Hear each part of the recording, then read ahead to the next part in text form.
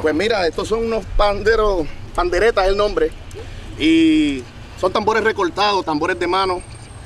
Eh, cada uno tiene una voz, tiene un rol en la música. El, el grande es el que está tocando Juango, el que está tocando Nelly. Se llama el seguidor y ese tiene un patrón establecido que nunca cambia, este pandero, este pandero que está aquí. Que tiene dos, aquí tiene dos modelos, uno hecho de un timbal, ¿verdad? Eso sí, un, de un marco de un redoblante. Y aquel es pues de, de- de madera, en roble. Artesanal, ya lo ves. Y entonces luego se le añade el, bueno, para que tengan una idea más o menos cómo suena el seguidor ahí, para que lo vean.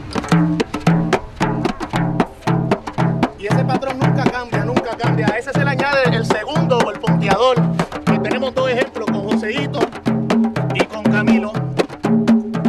Como ven está afinado de un poquito más agudo. Y luego el, el requinto, que es el que va encima de esa base rítmica.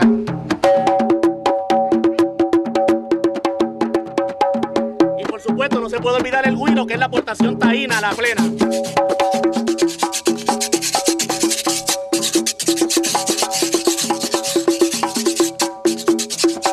Ah, oh, eh, oh, pa, pao. Ahí está. Gracias. Gracias.